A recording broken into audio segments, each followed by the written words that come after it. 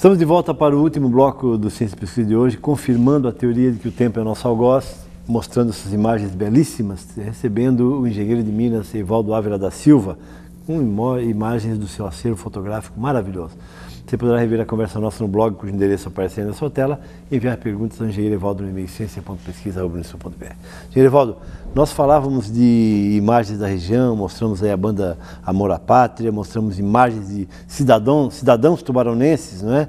que fizeram parte do cenário também regional e que foram responsáveis por alavancar o nosso crescimento, o nosso desenvolvimento. Não é? E nós vamos continuar vendo algumas imagens. Pode ser? Pode ser. Essa imagem então, engenheiro. Isso aqui também é um grupo de, da banda e, com trajes de carnaval. Traje né? de carnaval, interessante, muito interessante. Vamos lá, bom. Aqui o sambaqui, Sambaqui da Garupaba, né? O sambaqui é signo é. de uma coisa interessante, né, engenheiro? O sambaqui caracteriza eh, a nossa região, especialmente o município de Jaguaruna, como Exatamente. um dos maiores, é. um dos que tem maior reserva arqueológica. Registros, é. Registros arqueológicos. Segundo o livro da doutora Deise, Panorama Arqueológico de Santa Catarina, Jaguaruna é o segundo município em registros de sítios arqueológicos. No mundo inteiro? No, não, na, no estado de Santa hum. Catarina, né? É, eu ouvi dizer que em Sambaquis é o segundo, é o segundo município do mundo, é em termos de, de, é, de é, quantidade de sambaquis, é. né? Esse aqui é o sambaqui de, do Camacho? E nós temos aqui na, na própria Unisul um trabalho muito grande do Grupep, né? Ah, do Grupep, coordenado Deise, pela professora, pela doutora Deise, né? exatamente. Já esteve conosco aqui, aliás, com muita honra. Vamos ver, essa aqui é uma foto de da uma, banda também, também outro, banda. uma outra fase, isso, né? Isso. Você olha a beleza do uniforme, né? Um, Espetacular. Uma coisa disciplina. Bom, agora essa, essa foto aqui é para ficar realmente na história, né? Essa aqui é, é, é, é, do aeroporto, né? O começo do aeroporto, né? Puxa vida. Tu tens esse registro, então? Temos esse registro. Na primeira... A primeira... É. Isso aqui é a pista dos 2.500 metros da pista, né?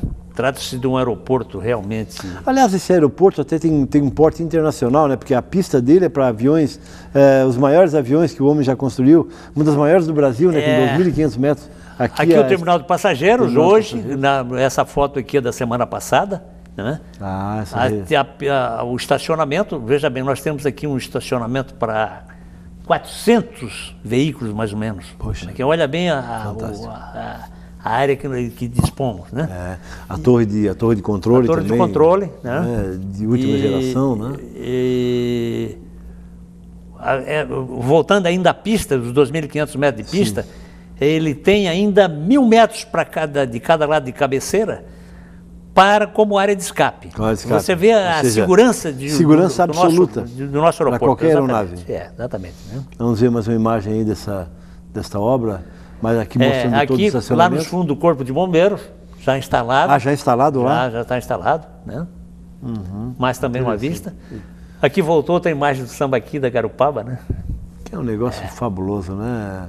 Samba aqui da Garupaba, do Camacho, fica entre Garupaba e o Camacho, né? É, é o maior samba aqui do é, mundo, né? Esse outro aqui é outro samba aqui, é esse aqui da Figueirinha, que é, é chama, chamado samba aqui tá. da Figueirinha. É, um, é menor, mas uhum. é, é, também de uma beleza extraordinária. Faz parte dessa reserva Isso que, o, que os sambaquis poderiam ser pirâmides, né, professor? Tem essa, essa é, versão. Exatamente. Né? Que, ele, que, na verdade, um, veja bem, isso aí tem 10 mil anos. Né? Ah, com certeza. Então, com mais... 10 mil anos, é possível que essa pirâmide tivesse realmente é. as suas arestas. É, né? não, quem sabe não seja tão não, acabei não pensando sobre esse, esse, essa possibilidade ainda. Esse aqui do Balneário Copa 70, também é, um sambaqui é. que fica lá na frente da Lagoa da Encantada.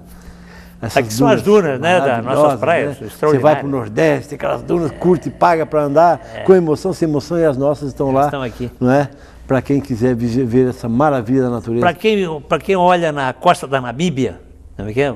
chamada Costa Sim. dos Esqueletos, e lá também tem esse tipo de duna que ah. nós, nós, nós, nós, temos com, parecidas, né, de uma beleza extraordinária. Perfeitamente. Mais uma imagem. Aqui é Lagoa. Lagoa é. do Arroio Corrente. Aliás, essa lagoa que forma o complexo lagunar da região é uma das únicas lagoas de é, nascente própria, com nascente própria da América do Sul. Sabia disso? É isso, exatamente. Isso é tá fantástica, né? Ou é. seja, nada, nenhum rio desemboca nela. Não. É aqui uma outra imagem da lagoa, é. ela apenas a forma que ele arroio, que é o arroio corrente, né? E, e, professor, água potável E o, o equivalente que ela lança no mar, porque nós estamos lançando no mar, né? Uhum. É mais ou menos o mesmo volume de água tratado pela estação de tratamento de águas aqui do Tubarão. Tubarão Saneamento, é, olha que coisa interessante. Mais uma foto da lagoa, da lagoa, né? lagoa do é. Camacho, se não me engano, né? Não, essa é a própria Lagoa do Rio Corrente. A Rio Corrente, é, não, perfeito, só... perfeito. Não, não, é, agora é. é. Não, ela tem a forma de um bumerangue, né? Isso é maravilhoso. Chuveirão, que Chuveirão. mostrou aquela antiga casa de força, que agora, agora já, já modificado para receber os turistas, né? Maravilha, então. Artificializado. Bom, agora, engenheiro Evaldo, uh, o nosso tempo está quase acabando. Eu deixo, então, as câmeras para a tua fala, para falar dessas duas imagens finais e para a tua fala final. Essa aqui é uma foto do engenheiro Evaldo na antiga Prospeminis, tá? que, que, era, que precedeu a Tecnomin é. Mineração, né? a tua empresa, né, engenheiro? É. É um é... escritório antigo onde eu tenho as fotos, né, onde eu consegui organizar as então, fotografias. Todo né? esse acervo se encontra nesse Se nesse encontra espaço. nesse local, é, é. Então vamos ver se tem mais uma imagem aí da parte externa do acervo. Essa aqui o engenheiro mostrando de frente ao seu acervo. Essa aqui Essa é a casa. aqui é o local. Então, as né? pessoas que passarem por lá estão convidadas, engenheiro, para... Para visitar, não tem problema. Então, você, você é. telespectador, telespectador, que estiver passando para a região do, pela região do Camacho, vai passar em frente à sede da Tecnomi, que é a antiga Prospemina, e poderá ser recebido por esse cantador, engenheiro, engenheiro de Minas, para visitar esse acervo maravilhoso, essa história da nossa região que se encontra de sua posse. Engenheiro, eu te agradeço é, muito por ter aceito o convite de ter vindo ao Ciência e Pesquisa, por estar conosco aqui mais uma vez e deixo as câmeras de Ciência e Pesquisa então para a tua fala final. Professor, foi uma honra muito grande, naturalmente, e espero ter colaborado. Eu gostaria apenas de dar conhecimento ao telespectador que quando nós falamos aqui no Gentil, Gentil Reinaldo é o pai do professor Gilson, né? que praticamente 100% dessas fotos que eu tenho, quase 100%, uma ou outra que não foi, digamos assim, revelada por, eh, por, ele, né? Mas é, devemos todo esse acervo, na verdade, eu sou apenas um instrumento, devemos ao Gentil. Né? Muito obrigado, muito me emociona isso, engenheiro Evaldo. Foi um prazer grande tê-lo conosco. Eh, sucesso nos seus empreendimentos, sucesso uh, junto aos teus, enfim, porque você realmente, por sua dedicação, por seu carinho, por sua competência, tem que ter um destaque especial na nossa sociedade. Muito obrigado, engenheiro. Tá? Da mesma forma. Muito Foi obrigado. com muita honra o engenheiro Evaldo Ávila da Silva, é, engenheiro da mineração, que contribui com a nossa memória, com a nossa história, mostrando esse acervo maravilhoso. Antes de encerrar, eu quero fazer a pergunta da semana. Nós mostramos aí algumas fotos da ferrovia Tereza Cristina. Eu quero que você responda então o ano em que foi inaugurada a ferrovia Tereza Cristina, que tem esse maravilhoso museu aqui na região do Tubarão e que é tão bem cuidada e é, transportando carvão, minérios e também resgatando parte da nossa história.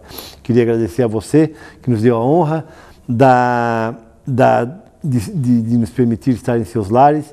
Deixo então aí ah, se você quiser rever esse programa, uh, você pode revê-lo no site cujo endereço aparece aí na sua tela, enviar perguntas ao nosso convidado, ao engenheiro Evaldo Ávila da Silva, no e-mail ciência.pesquisa, ciência.pesquisa.br. Agradeço ao carinho e à competência do Silas, que esteve aqui conosco durante todo esse tempo, esses dois programas aqui nos câmeras, o Maurício pela brilhante competência na, no Twitter e junto com o Patrick aí que fizeram todo o trabalho de bastidores, a Rosane que nos coloca no blog e a você, meu querido, minha querida telespectadora que nos recebe semanalmente em seus lados. Um grande abraço e até a próxima semana com mais um Ciência e Pesquisa, com certeza.